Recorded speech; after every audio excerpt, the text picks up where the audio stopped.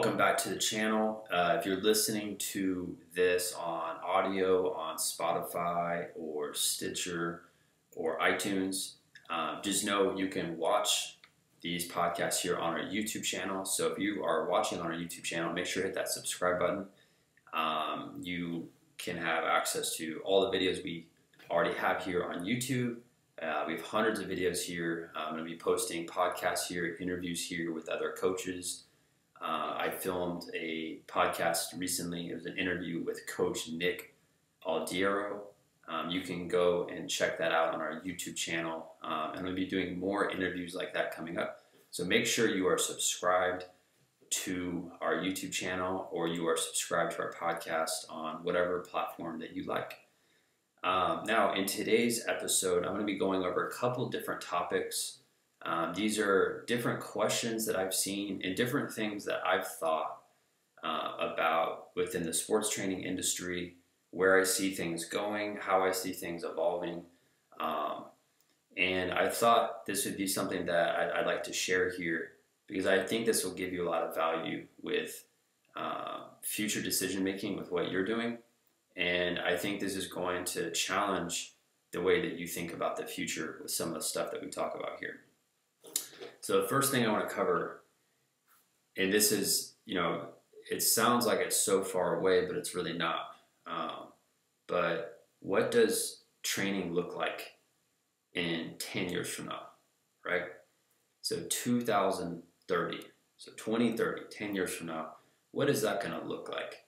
And I will tell you, there's a huge jump between 2010 and 2020. Um, the big jump that I saw personally with, with what I do is online coaching became a lot more popular in 2017 and 2018. Right now, it's way more popular. In 2020, it's way more popular than it was a year ago. And I do see in 10 years from now, I see that as just being absolutely massive. Um, so if you're not thinking about creating something or building something online, I would highly encourage you to learn and start taking the steps to start building online and have that as an asset for the future.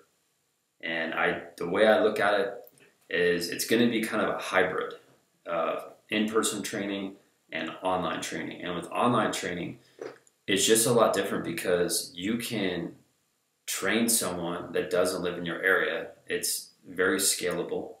Um, you could have clients from different countries that buy your program or that subscribe to some sort of monthly service that you put together. And I really do see like the world is just becoming more and more connected.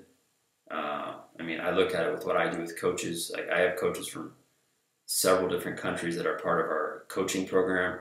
I see online coaching being just bigger and bigger and bigger over the next 10 years. And I think that's a, a must that you, you, I think you should have within your business. And it's something that you should start looking to build. And, and it's not going to be this overnight thing, but in 10 years from now, I see that as, as massive. And if you start creating something like that now, not only will you just have an advantage over other people who wait. But in the next 10 years, you're going to be able to build a huge either subscriber base, a big email list. Um, you can have a big buyers list. You could be selling digital products, online coaching. I mean, I've talked about that sort of stuff in the past on my YouTube channel. Um, there's coaches that we help that are actively doing that right now. Um, a lot of them are succeeding at a high level just through online coaching and um, it's something I've been a part of. I, I started that a while ago. I, I have a different YouTube channel um, called Online Soccer Skills. Like you can kind of see how I did that. Um, started that multiple years ago, and I do see the next ten years as being just continuously growing and growing and growing online. And I would suggest if I were to talk to anyone who's starting a business today, I would say, hey, this is something you should think about. It's going to be better to, to try to put that together versus waiting. And the longer you wait for something like that, the easier it is for someone else to start and do the exact same idea that you want to do. right? So that should be something. It should be on your radar. It's going to be a, a multi-billion-dollar industry. Um, it already is with e-learning, and it's just going to be something that I feel like it's it's just going to blow up. And we saw it over, you know, with coronavirus. If you were unable to train in person, the only other option is online. And coaches who had that set up, or coaches that set that up during that time, they thrived. Uh, people who didn't know how to do that or were too late to the game, it was hard for them because now they're trying to learn something, and and it's hard to learn something when you're under pressure. Um, you know that's a tough gig for people who, who hadn't learned how to do that before. That's why you know if you do that, you're you're probably going to be better prepared for any sort of disaster or like crazy economy thing, um, and that that gives you more legs with your business. Like you, that gives you more leverage, and that gives you more authority online if you start building an asset online, which would be either a YouTube channel, uh, a big Instagram following, Facebook following. Um, all of it really boils down to your email list and I've talked about that at nauseum over the past couple years. Um, and, you know, the proof is in the pudding. You have an email list, you're going to survive. If you have zero email lists, it's going to be hard to build something online. All right. Now, that's the first topic is the future. And I'm curious to know from you, if you're watching this on YouTube or you're listening, I'd love to hear your feedback. Like, where do you see things going over the next 10 years? And are you actively building something online? Um, if you are, like, I'd love to hop on a call with you and, and, try to give you some pointers with, you know, how to do that or what to do. Um, I can tell you what works and I can tell you what doesn't work. Um, and I've seen personally, I've gone through failure with that and success with that. Um, I know a lot about digital products, creating, uh, you know, a higher end ticket type of product um, online, I'd love to see if I can help you. If you have any interest in that, reach out to me. All right, reach out to me on YouTube or send me an email. You know how to get in contact with me. All right. Next one here, and this is something that I see right now. I'm seeing this in 2020, even like after coronavirus hit. Um, it's you know what type of people are are getting into this industry, right? And back in the day, I, I, saw this and I looked very closely at this. In 2016, and you can go back on my YouTube channel and see this, but uh, back then I was only shooting like those types of videos for soccer coaches. And my channel back then, it was called Soccer Entrepreneur. I had a website called soccerentrepreneur.com. That's how I started ultimately is I was helping soccer coaches. And I saw back then it was soccer coaches that were in club soccer, right? Or it was like ex players that played in college or something like that um, that were coaching at some level that wanted to start their own thing. And then I started to see, you know, there was teachers and there was other people that were within soccer that wanted to branch off and start their own thing and do it full time. And we did that. We focused on that. Then there was other coaches from other sports that started to ask, you know, basketball, baseball, football, cheerleading, volleyball, um, track and field, sports performance, and just we just kept helping coaches from all these other sports. And then I started to see though, there's a lot of people from different categories that are looking to get into this type of business. And I just wrote um, a little list here, but the first one that I've seen that I feel like there's going to be a surge of these types of people that join um, this industry is teachers, um, specifically like PE teachers. Uh, a lot of PE teachers and teachers have started to realize, well, I have time, I have an interest in coaching.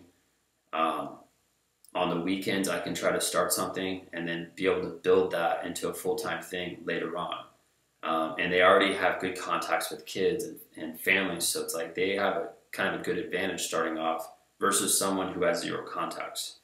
Um, the next, this is pretty obvious, is coaches that are within sports. So if, if there's a club coach or a high school coach, if seasons are ending and that's what it looks like in my city, right, in the fall. Those coaches don't really have anything to do, and if they get let go from whatever school they're at or whatever team they're at, like they already have connections with families, so they could easily start a training business. And I feel like this is something where a lot of coaches are going to be coming into if they were previously coaching a team or a club or organization because they love coaching, they want to continue doing it, and that's going to be a great alternative is by starting your own business. All right. Uh, next one, and I see this has been more common that I've seen. It's it's people who have great careers but they hate their job. Um, I've seen this. Like I talk to coaches every day over the phone, who like, you know, I, I feel like I could I could press rewind, and everyone has the same sort of problem that they're dealing with. Is they have a job, they're making money, but they feel like when they wake up in the morning, they have the same feeling I had when I had my last job. They don't like it. They don't like being told what to do. They want to have more freedom, more flexibility. They want to chase and do something that they're fired up to do.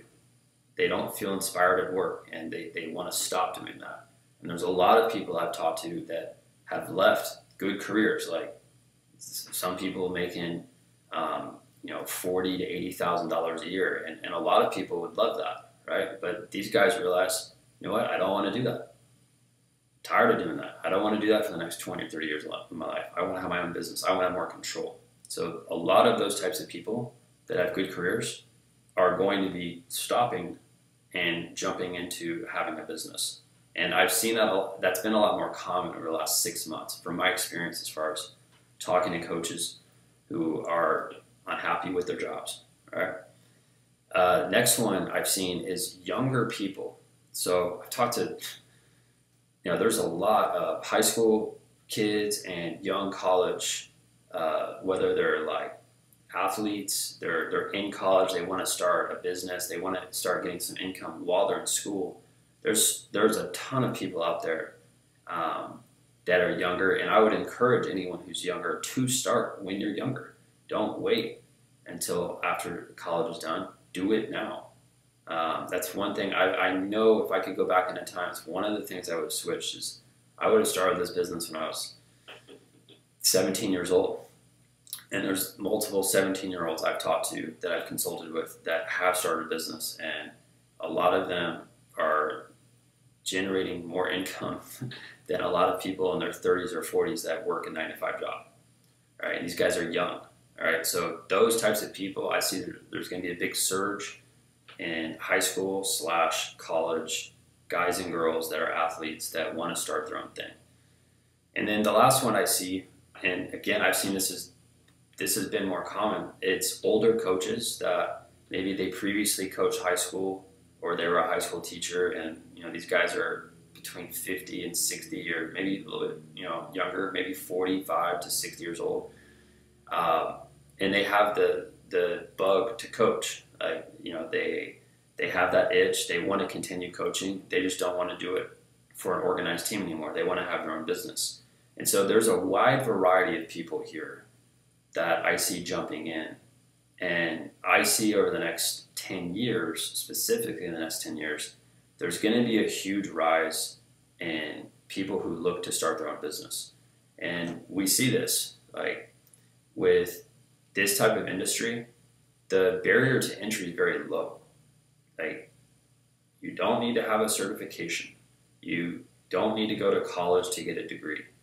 Um, the startup capital is very little. Like, you don't need to have an investor. You don't need to go to Silicon Valley and, and pitch this idea to Mark Cuban and Daymond John.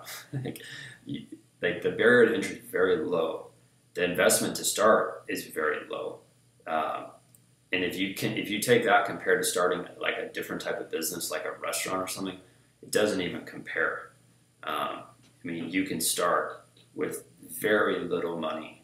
Um, you start with no money um, and start getting clients. So I see a lot of coaches out there from all different ages, all different scenarios get into coaching. And if you're one of those people that's watching right now and you're like, man, I want to get started. Um, I need help. I, I, I, want to do this as a business and I want to start small. the best thing that I can give you, all right, it's my startup ebook and video series. All you have to do is just go to my website, buildmysportsbiz.com. And what I'll do if you are listening or watching this and you want to check that out, send me an email. All right, my email is buildmysportsbiz at gmail.com. Send me an email with your name, right? Send me an email uh, with your telephone number. And if you do that and you tell me like what city or what sport you're in, just give me some brief information about you. I'll send you a 50% coupon code that you can use, uh, you know, right after you send me a message. I'll send you back, that back and I'd probably love to just chat with you to, you know, give you some pointers on what are the best ways to get started, right? So shoot me a message. I'll give you that coupon code, right?